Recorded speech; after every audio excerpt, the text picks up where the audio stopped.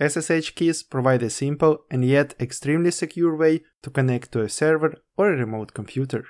In this video, you will learn why to use SSH keys, how to create SSH keys, what's the difference between private and public keys, how to add SSH keys to a remote server, how to disable password login and keep only SSH keys login, how to use SSH keys for passwordless login, how to use SSH keys authentication agent and avoid typing your SSH keys passphrase many times.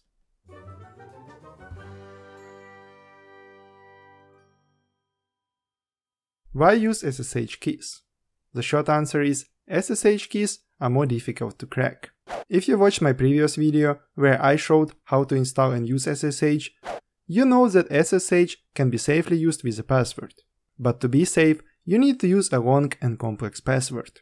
Nevertheless, many passwords still can be cracked with a brute force attack. On the other hand, SSH keys are much more complex than any password, and the need for the two matching keys, a private and a public, make it almost impossible to crack your SSH connection. So by using SSH keys, you will have the highest level of security on your server or a remote computer. How to create SSH keys? To create SSH keys, run SSH keygen. The program will ask you where to place the key and how to name it. By default, SSH keys are located in home username.ssh. You will also need to create a password for this key.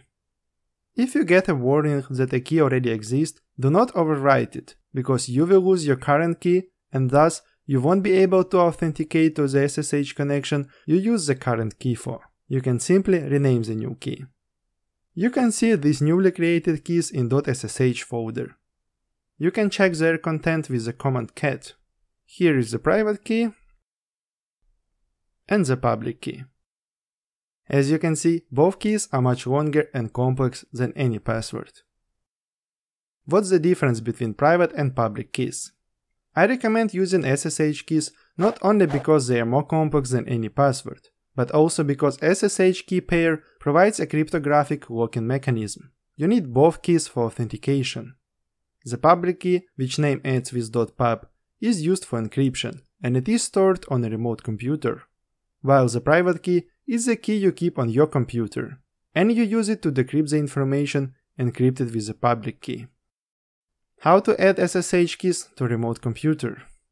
So to enable SSH key encryption, you need to place a generated public key to the remote computer. There are different ways to do that. The simplest one is to use SSH copy ID. This is the public key you want to copy, your username at the remote server, and the address of the remote server. It will copy your public ID to authorized keys file in .ssh folder of the remote computer. You can also use scp command, I show it in the previous video on SSH. But if you already use SSH keys on the remote computer, you should not use scp command, because it will overwrite existing authorized keys. Instead, you need to append the public key to the authorized keys file with this pipe. I provide this pipe in the description. If you are not familiar with pipes, I showed how to use Linux pipes in this video. To explain you what happens when you place your public key to the remote server, I will manually copy the public key from my local computer and place to the authorized key file on the remote computer. As you can see, this key was added with SSH copy ID command, and if I paste the key we have just copied, you will see they are identical. So you can manually copy paste the public key, but it is not recommended because you may accidentally change the key content and your key pair won't match. If you use some private server providers like UpCloud in my case, you can add SSH keys during server deployment in this user-friendly way. UpCloud also allows you easily secure your server by setting the login method to SSH key only. UpCloud sponsored this video and they allow you to practice how to use SSH keys for free. Just use the promo code ALU25 during the registration and you will get $25 to your UpCloud account. You can use this money to test everything you see in this video. If you do a mistake and you cannot log into your UpCloud server anymore, you can delete that server from your UpCloud dashboard and deploy a new one until you learn how to use SSH keys right. I showed how to deploy an UpCloud server in this video. I recommend you to watch it. So after you added a public key, try to log in to the remote server. You will need to type your key passphrase, and you are connected with an extremely high level of encryption. How to disable password login and allow only the SSH key login. After you added an SSH key, it is advised to disable the password-based login to keep only the SSH key login. Otherwise, SSH keys become useless. This is exactly what I showed with UpCloud settings a few seconds ago. But of course, you can set only SSH key login on any server.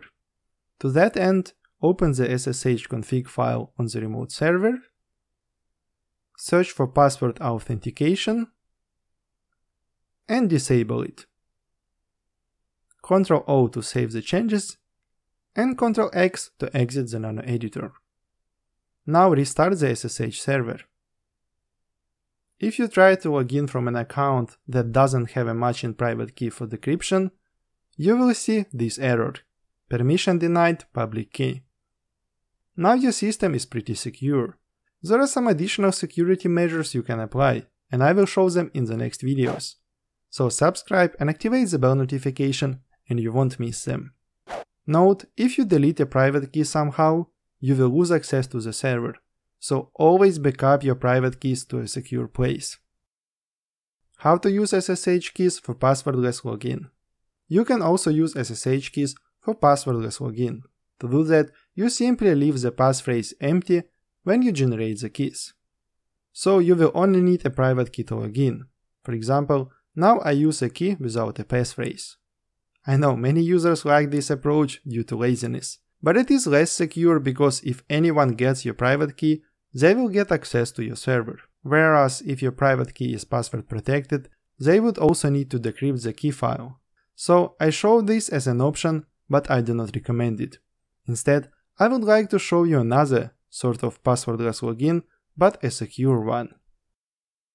How to use SSH Authentication Agent.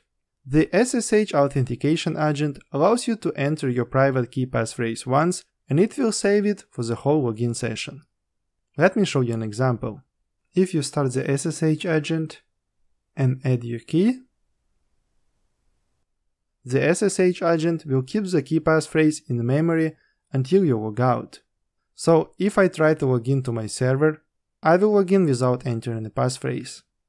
And I can do that as many times as I need.